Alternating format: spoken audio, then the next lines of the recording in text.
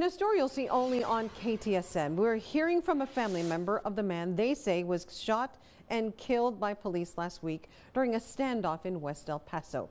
KTSM 9 News reporter Tirza Ortiz is live with emotional words from his sister and what crisis experts recommend for family members seeking support for their loved ones in similar situations. Tirza. That's right, Estella. Well, 27-year-old Martin Herrera's sister said her brother and mother had just moved to El Paso 10 days before the incident, saying that they were looking for a fresh start and somewhere her brother could feel safe, given he had been diagnosed with bipolar disorder. Yeah, he had bipolar 1 disorder, where he would see things and he would um, completely black out and not know where he was. Olivia Mercado says her brother Martin Herrera experienced crises twice before in different states, but was hospitalized for treatment. Last Thursday, she said her family called El Paso police for help, thinking they would admit the 27 year old, but that was not the case. As the incident remains under investigation, Mercado says she wants other families to understand the gravity mental illnesses can have on loved ones. But he hasn't been on medicine and um he didn't like the way it made him feel. He didn't believe he was like sick. He thought that it was the cause of severe stress or like having a hard life. He wasn't really aware that he was like really sick.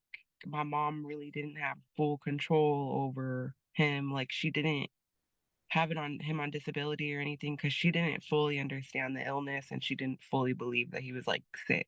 KTSM reached out to Emergence Health Network for advice family could use if their loved one is facing a mental health crisis. In a statement to me, director of the crisis intervention team, Rhonda Russ, said, quote, establishing that trust and support with the loved one who is diagnosed with a mental illness is important, and knowing when their behavior is off baseline or unusual is vital. Russ went on to say it's important to know the signs of a mental health crisis, which can include hearing voices, decreasing for sleep, racing thoughts, and paranoia. All things Mercado said her brother experienced leading up to his death. She says she wishes things would have been different and said the behaviors her brother showed leading up to the shooting wasn't who he was as a person in his normal state, he like the only thing that I can think about him is just smiling. He had a huge, beautiful smile and he was a very nice person. This is not him at all. I know for a fact that he was sick and three days before this incident, we were basically begging El Paso Police Department to help him.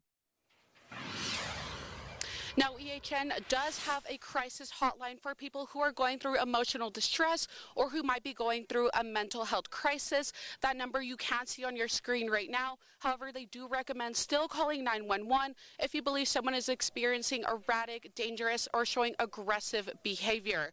For now, live in West El Paso, Tirza Ortiz, KTSM 9 News. Tirza, thank you very much. And also thank you to Olivia Mercado for sharing that with us today.